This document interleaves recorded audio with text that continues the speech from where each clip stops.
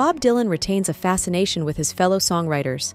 The American artist famously dropped past the house in New Jersey, where Bruce Springsteen grew up, sparking worried calls to the police from neighbors concerned by the disheveled figure wandering up and down the street. But there's more than one story. The relationship between Bob Dylan and the Fab Four was, at best, one sided.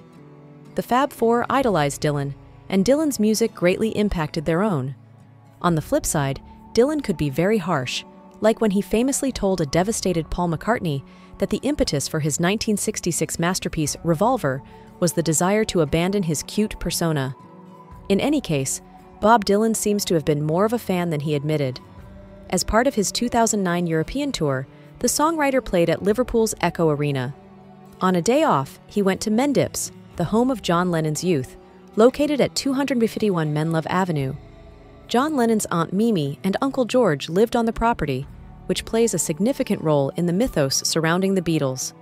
The National Trust bought it and has since restored it to its 1950s condition so that it can serve as a realistic time capsule. Bob Dylan secretly boarded a tour bus and paid the 16 pounds for the privilege. News of his actions only broke almost a year later. Dylan looked to enjoy himself, according to a National Trust spokesperson. He rode in our standard minibus trip. It appears that people on the minibus did not recognize him, the spokeswoman told the BBC. He could have arranged for a private tour, but he preferred to ride the bus with the rest of the group, she continued.